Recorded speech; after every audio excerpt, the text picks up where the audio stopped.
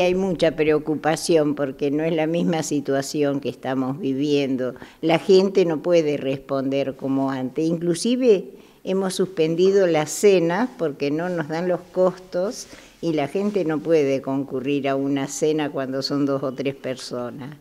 Es, lamentable, pero es lo que tenemos.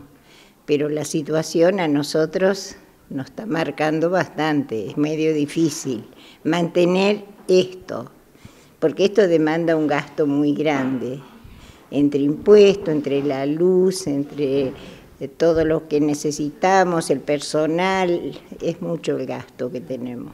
Se refiere a las cenas, es parte de las actividades que ustedes organizaban acá, digamos. Aparte de las actividades que nosotros organizábamos, que hace como seis meses que no las hacemos.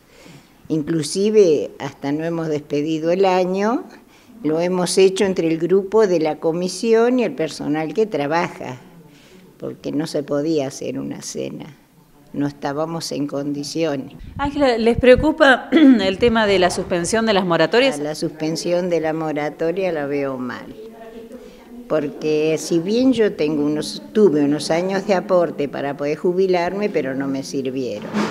Y ahora tengo la pensión derivada de mi marido nomás y alcanza ahí nomás, porque son cinco mil y pico de pesos que, que no rinden, porque la situación no presta.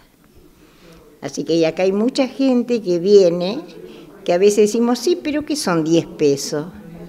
Pero para uno que gana cinco mil, 10 pesos representa plata.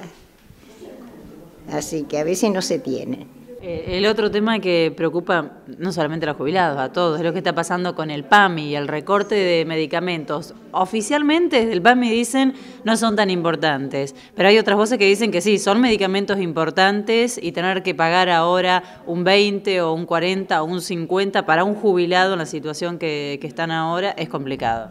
Es muy complicado. Yo tengo una medicación de por vida porque tengo mucho problema coronario y de corazón y hay veces no los puedo solventar, me cuesta solventarlos. Y ahora con el recorte me lo sacaron el más caro, el que valía 590 no lo tengo. O sea, usted el medicamento que utilizaba es uno de los que sacaron de la cobertura del 100%. Sí, sí, es uno de los que sacaron del 100%.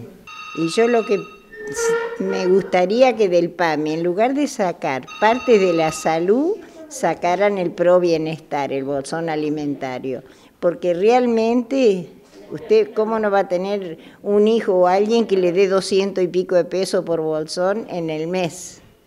Y sin embargo la salud no se compra con 200 pesos. No se compra nunca con nada, pero es difícil.